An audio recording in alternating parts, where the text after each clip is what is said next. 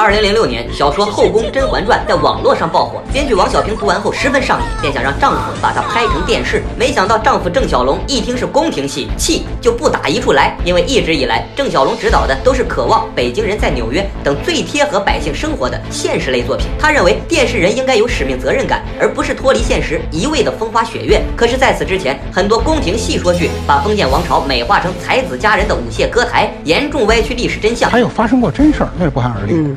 有两个女孩跳井，想穿越回。封建社会给皇上当妃子，这些影视作品过度营造的虚假美好，让他对宫廷题材一度十分反感。可是没多久，他转念一想，又觉得十分有必要拍一部揭露历史真相、对得起观众、对得起历史的良心宫廷剧。于是他便买下了小说版权。为了打造这部带有批判意识的古装剧，剧中仅有名有姓的角色就高达一百五十多人，阵容丝毫不亚于八六版《红楼梦》，台词风格更是完全对标《红楼》。清朝人怎么说话，台本就怎么写。写好本子便开始挑演员。这时小说。作者刘恋子向剧组力荐偶像蔡少芬饰演甄嬛，因为她在小说创作时就是根据蔡少芬的性格来打造的甄嬛。可当时蔡少芬已经三十七岁，年龄实在有些偏大，只能饰演皇后。于是导演便将目光转向以灵气著称的周迅。可当时周迅正忙着拍《画皮二》，这个时候郑晓龙突然发现了《小姨多鹤》中的孙俪，他觉得孙俪演技层次丰富，出演甄嬛一定有掌控角色、逐步变化的能力，便决定让孙俪来演。果不其然，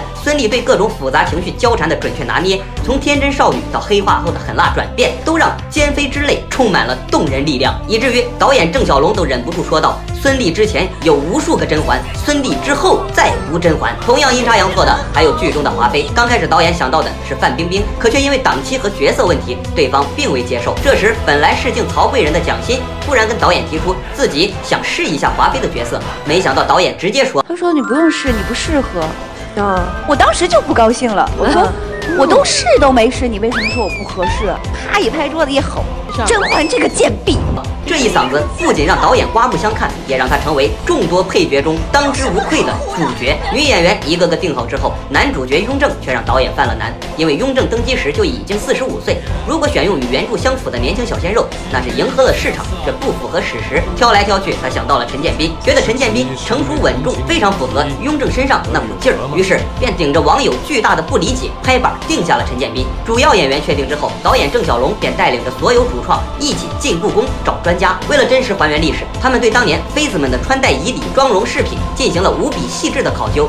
剧组甚至下了血本，请北京奥运会的化妆造型师陈敏正做造型设计。造型师们学着老照片，参照清史专家的解说，开出了三套预算。结果导演直接选了最贵的那套，目的就是对观众负责。于是三个设计组三个多月的加班加点，穿珠子、敲首饰、做旗头，每件金饰都是二十四 K 鎏金，镀银也必须使用真银。上至后妃，下至宫女，不同阶位所戴的饰品没有一样重复。一百四十多套首饰，总价高达上百万元。一顶头饰仅仅连贴这一道工序就。得花费七天时间。细枝末节上的完美让人瞠目结舌。除了这些新打造的制品，剧中不少嫔妃甚至还用上了真正的私家收藏。仅蒋欣头上戴的珍品老点翠就价值整整十万元。除了首饰以外，剧组还为演员设计了四百多套衣服，每套衣服都上万元。仅为孙俪一人准备的就有六十八套。从前期的小清新到后期的奸妃装，每一套都与众不同。光是试装就让孙俪从上午十点一直穿到凌晨一点。首饰衣物极尽华美，拍摄场景更是极其考究。剧中的明清红木家具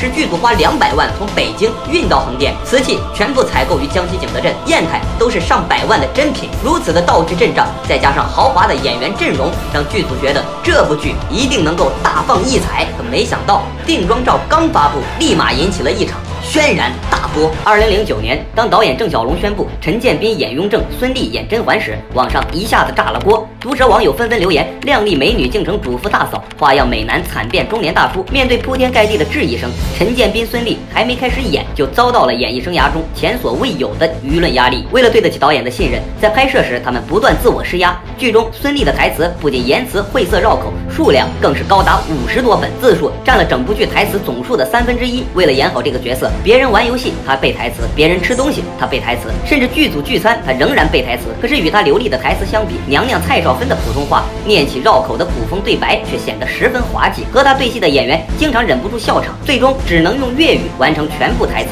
搞得所有人一阵蒙圈。导演郑晓龙直接感叹：天不怕地不怕，就怕蔡少芬说上普通话。不过语言上的问题并不影响他精湛的演技，在拍摄时，蔡少芬身怀六甲，却仍然坚持穿着高高的鞋子，情绪高涨时声嘶力竭，甚至跪在了地板上。一句“臣妾做不到啊”，更是火遍大江南北。可即便演员如此卖力，郑晓龙对该片还是没有信心，担心拍出来没有人看，便前往隔壁新《还珠》剧组刺探敌情。看完之后大喜过望，当场直言《甄嬛传》绝对不比他差。五个月的拍摄结束之后，剧组又进行了整整十个月的后期剪辑，因为拍摄时是冬天，演员们说话时哈气很重，为了真实，便将剧中发生在夏天的场景用特技将哈气处理掉。除此之外，由于是在横店拍摄，周围全是连绵青山，而真实的北京故宫墙外只能看到天空，追求完美的剧组便硬生生的将所有出现在镜头中的山全部抹掉。这对一部九十集的电视而言，简直不可思议。为了能够精简、精简再精简，导演郑晓龙又忍痛割爱，将原本已经压缩到九十集的篇幅再度减去十四集，最终